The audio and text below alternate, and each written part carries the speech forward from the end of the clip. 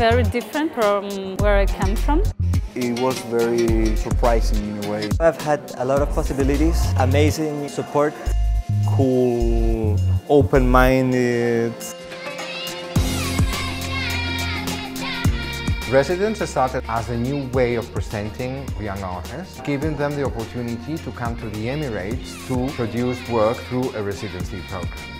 The selection of the artists in the galleries, was a conversation with Brazilian curator Fernanda Brenner. The first conversation we had was about subjects frequently visited in the UAE within the arts environment and from that the selection was made.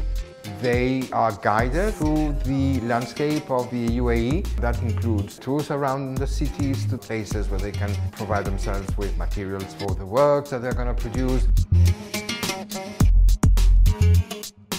They were discovering a sense of place, the non-commercial understanding of the cities that they were in. I had the opportunity to go to the industrial zone, going to their places. This is a place which is like a melting pot of many different cultures.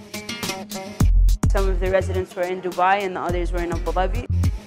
The experience of being in that place was, was, was amazing. Now I have new friends from Cuba, from Brazil, a little new family. All of us being Latin American in a foreign land has made us bond very, very fast. The response is directly seen in the work at the fair. It was really an opportunity to explore. To keep on going my practice, my methodology.